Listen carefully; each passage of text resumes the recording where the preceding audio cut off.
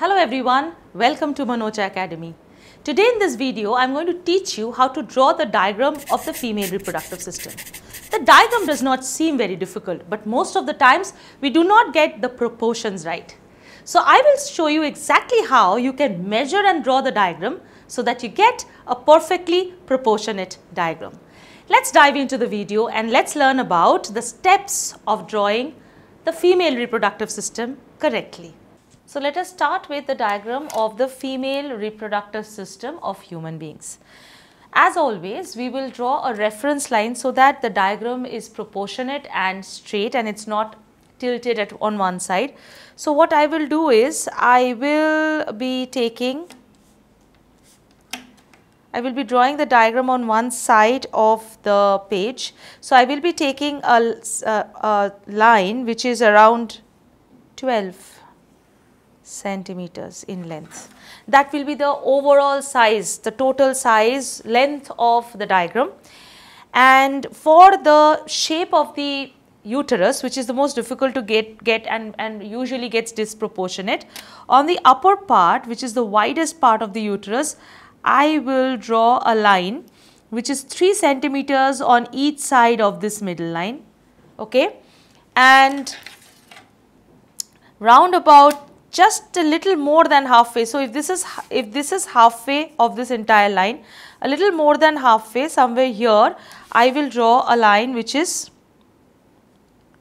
1 centimeter on each side, right. So, what it means is that your uterus should be of this shape, not straight, we will not join it straight, but I will show you how to join it, but that should be the length and the breadth of the uterus on uh, overall. Okay. So, now we start drawing. So, how will we draw? First and foremost, I will draw a structure like this, an umbrella shaped part just above the 3 centimeter 3 centimeter line that we have drawn. So, I will draw an umbrella shaped part here and just from the end of these two, uh, so from the end of here I will bring it here from and from this corner I will bring it to the line that we have drawn. So, that gives us a shape of the uterus. I will just make this a little clean. So, that gives us the shape of the uterus which is inverted pear shaped, right. Remember if you remember the structure of the uterus it is inverted pear shaped.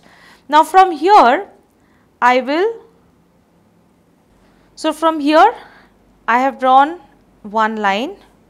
On the other side also I will draw one line and that gives us the shape of the vaginal tract. Okay, so the overall structure is done here and then I will draw the horn shaped fallopian tube. So, for that we will curve it like this from the end make sure that the fallopian tube has similar diameter all over and then it ends in a funnel shaped part.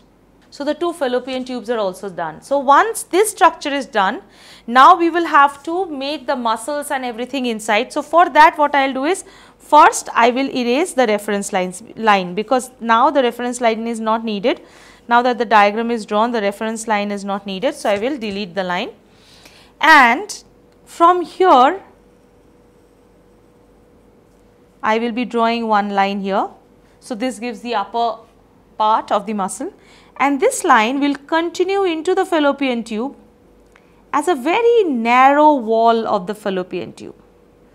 So, see be a little patient, make sure that the two lines are parallel to each other and it is not that at one part it is very wide, another part it is very narrow and that will give you a clean wall. Similarly, on this side I get the wall of the fallopian tube. Okay. Now, starting from here I will have to draw a wall that comes almost near this. So, I will start a wall. Now, the shape of the wall can be a little undulating, but remember that it should come here. So, similarly on this side and these two walls come really close making a narrow tunnel like structure.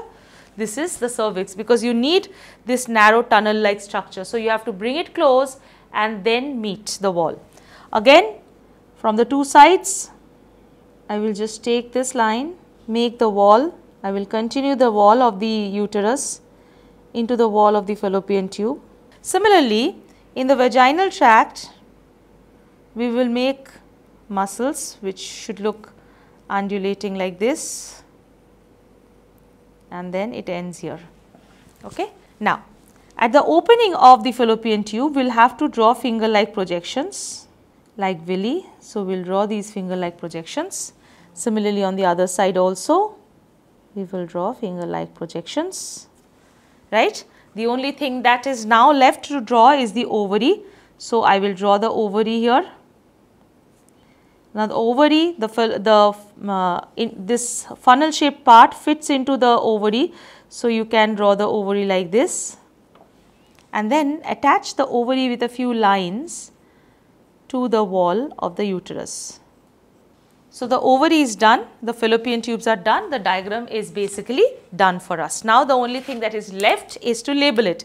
As I always tell you in my videos, you label the diagram on the right hand side. So, for that draw a line and then start labeling the diagrams from the top. Okay. So, we will be labeling the parts which are nearer, but we will make sure that we do not crisscross lines. So, these lines should not crisscross each other, right.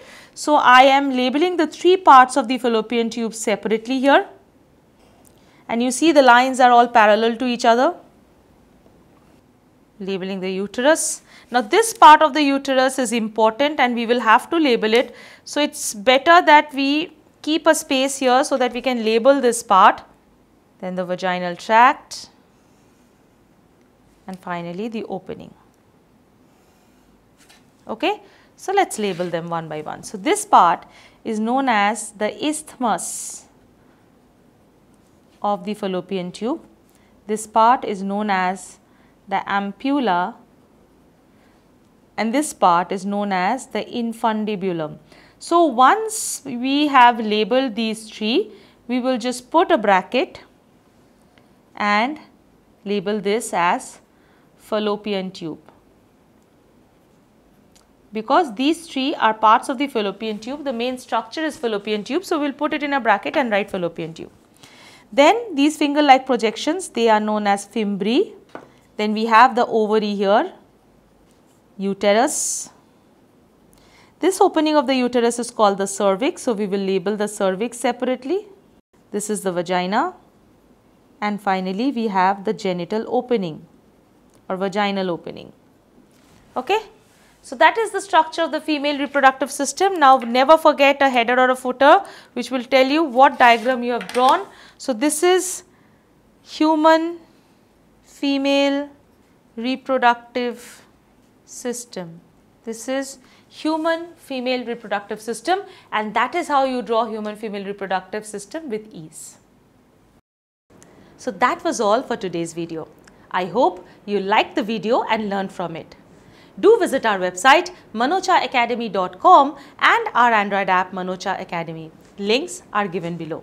We have courses for physics, chemistry, mathematics, biology, AI and coding. Along with that, we have the newly added courses on NEET and IIT Foundation. You will get concept videos, live classes, quizzes, mock tests, questions and revision notes. So, they will be perfect for your exam preparation. Do hit the like button and share this video with your friends. Please subscribe to our YouTube channel and hit the notification bell so that you do not miss out on any of our videos. Let's stay connected with Manocha Academy. Let's learn together.